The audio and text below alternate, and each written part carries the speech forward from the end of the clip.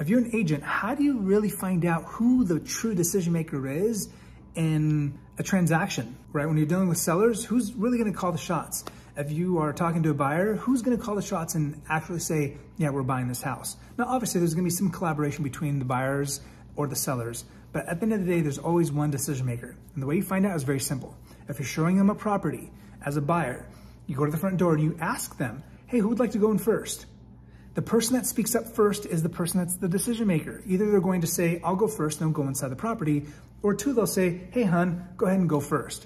So no matter what it is, whoever speaks up first is the decision maker.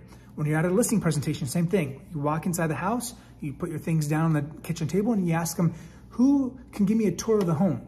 And the decision maker will be the very first person speaks, that speaks up. They'll either say, hey, hun, go show them the property, or they'll say, come here, I'll, I'll go and take, I'll give you a tour of the property. That's who you know who the decision maker is.